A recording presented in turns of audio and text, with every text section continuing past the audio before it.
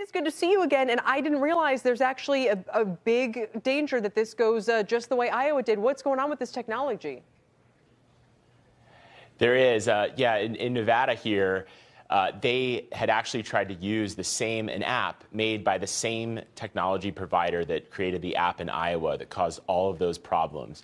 And on January 11th, they brought hundreds of volunteers to a local high school here to test out that app, and it didn't work. So some people realized then that there was a problem and it really should have raised red flags. But it wasn't until after the Iowa debacle that Nevada Democratic Party officials here decided to scrap that plan mm. and come up with a whole new one with less than three weeks to go. So now, is this is the the current plan now the iPad plan that you described? These 2,000 iPads with Cisco software? That's right. Yeah, there's Cisco software on there that's kind of a security thing where they can, they can control these iPads. There's about 2,000 iPads that the Nevada Democratic Party is distributing as we speak to volunteers who are going to run these caucuses. Now, when they open up these iPads, they're going to see one icon, and it's basically a web link. It's, it has two letters, CC for Caucus Calculator. And they're going to open that up, and it's going to go to a Google form and it's going to connect with a cellular connection and they're going to actually tally the results in that form. Mm. So there are going to be paper redundancies here, but it's this calculator is really what's going to help them do some complicated math.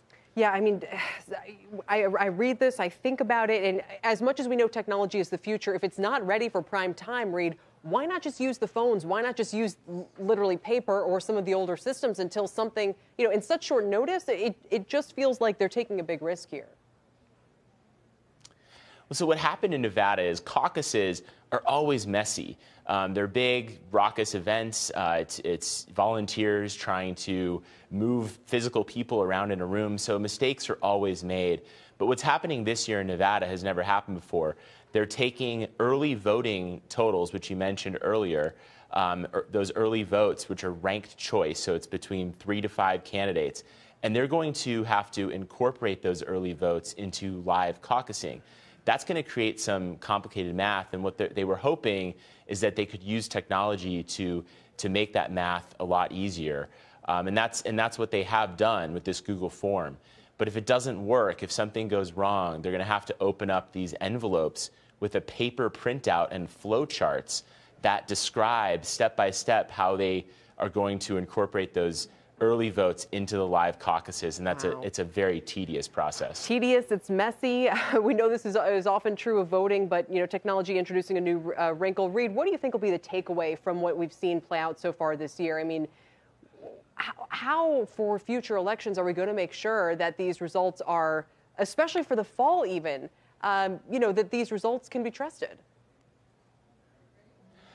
Well, as Maggie MacAlpine, the security expert, told me, the technology to take voting and make it an online digital process is not even in its infancy yet. So I think what, what election officials have to realize is that technology can play a role in helping elections take place, but it is not going to replace the you know paper ballot system. Yeah. Um, at least if we want to have secure and safe elections. Yeah. So they have to be very careful about the technology they use, and they need more continuity in the personnel developing it. So it's not like they're starting from scratch every four years. Yep.